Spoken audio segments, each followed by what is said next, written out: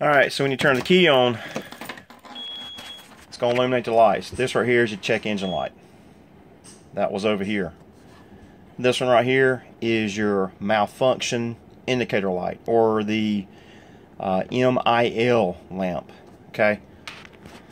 Alright, when you go through the when you go through the menu here, the first thing you want to do is, if I can get it to uh, if I can get it to focus here. You want to go through the checklist by hitting, by pushing this button over to the right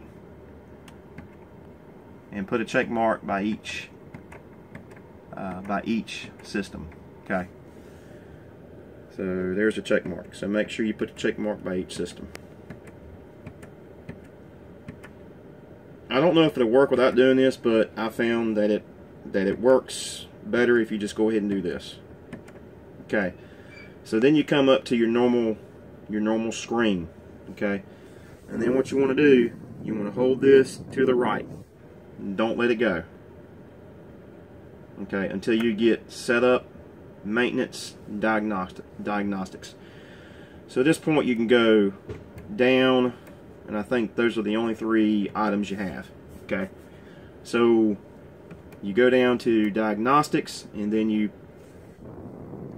push the button to the right once again. Okay.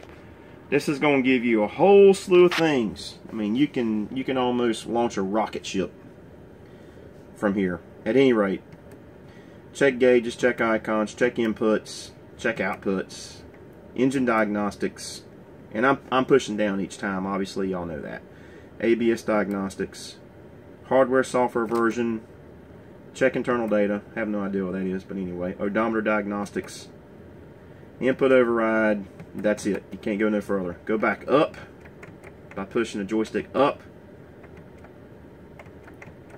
You get back to the top, check gauges, and we're going to go right here to engine diagnostics. Push it over to the right. Active engine faults. Wait. Okay. Once you do that, it's self-explanatory. You hit the button to the right once more, and it's going to give you your engine fault codes.